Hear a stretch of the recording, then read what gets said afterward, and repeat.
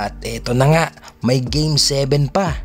Gustong gusto ng tapusin ni Justin Brownlee ang laban pero inalat ang Barangay Hinebra sa huling minuto ng laban.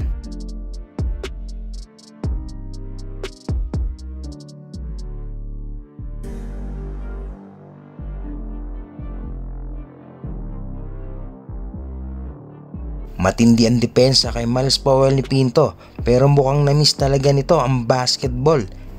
Kaya ganado. Nabuisit pa nga ito sa depensa ni Pinto dahil ayaw siya pakuhanin ng bola.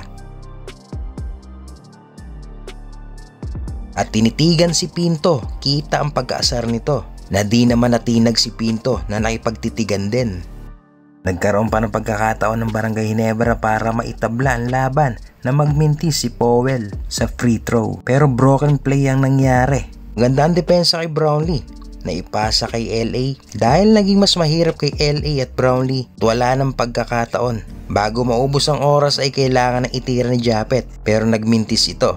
Good shot pa din naman, di lang talaga pumasok. Daming galit, bakit si Japet daw ang tumira? Ayan na yung sagot. Kung pumasok yun, di ko questionin ang tira ni Japet. Kita-kits sa Game 7. Para updated ka sa mga susunod na pangyayari, ay huwag kalimutan mag-subscribe. This is End Time. Thank you for watching.